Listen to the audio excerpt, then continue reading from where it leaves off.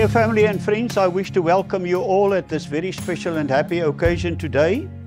I'm sure that Jordan and Charlotte are delighted that you came to share this very special moment with them today.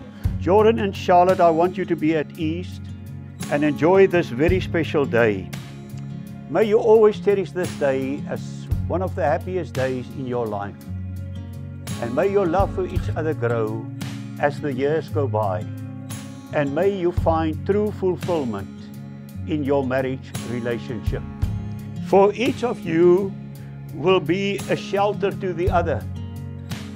Now you will feel no cold, for each of you will be warmth to the other.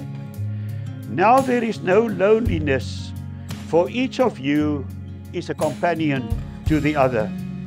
You are two persons, but there is one life before you and one home.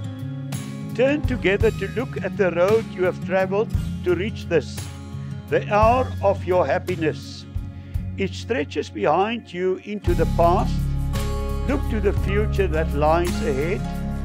A long and winding adventure-filled road whose every turn means discovery, new hopes, new joys, new laughter, and a few shared tears.